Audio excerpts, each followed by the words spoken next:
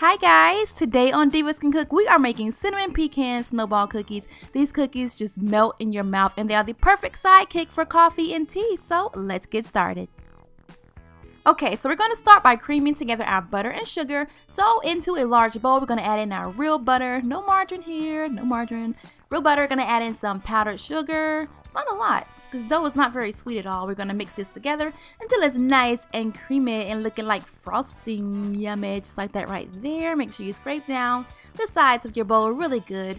Then we're going to toss in that all-purpose flour. Very simple ingredients for these cookies. Have a little bit of salt and cinnamon, okay? Go ahead and mix this all up until it becomes like a dough.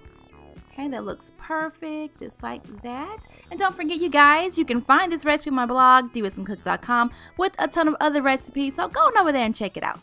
Okay, now we're to add in our vanilla extract and then we're to toss in those pecans, lots and lots of chopped up pecans. And you can also use um, macadamia, walnuts, just your favorite kind of nuts. And you can even switch out the extracts as well. Now here's how it look, a nice soft dough. Kind of looks like pecan sandies a little bit.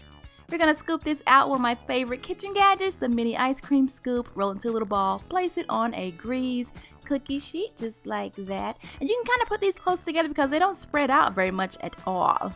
Okay, so just roll it, place it on the cookie sheet. I have my oven already preheated to 350. I'm gonna bake these for about 10 minutes, okay?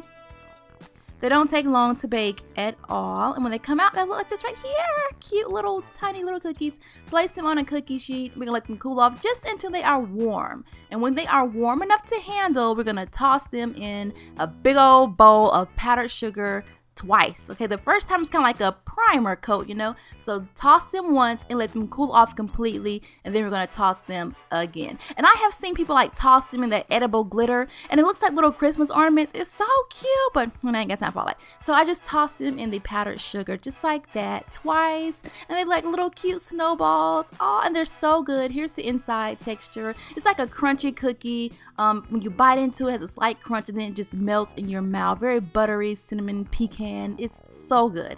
I hope you guys enjoyed this recipe. Thank you so much for watching. Bye guys.